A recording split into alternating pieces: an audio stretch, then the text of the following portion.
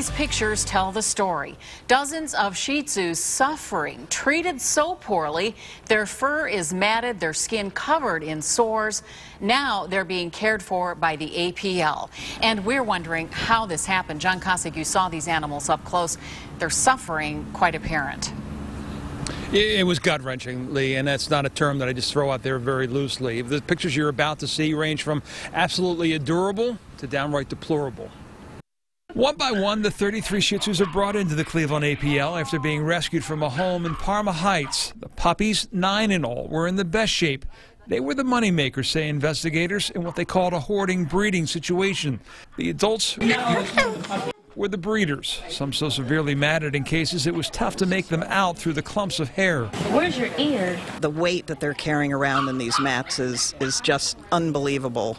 And this is a clear case of, of neglect and, and really pretty significant suffering.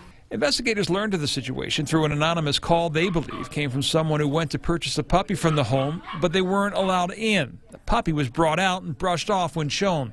They became concerned about it, gave us a call. What was found shocked even investigators. Just when I think I've seen it all, I see something like this, and um, it's, it's terrible. The owner has not yet been charged. All 33 dogs are being evaluated, treated, and groomed before being put up for adoption. We're hoping to have at least some of them available for adoption soon, so people should watch our website. Now, the owner's name has not been released. It will be released once he is charged, but animal abuse in Ohio is only a misdemeanor crime. Reporting live in Cleveland, John Kosich, News Channel 5.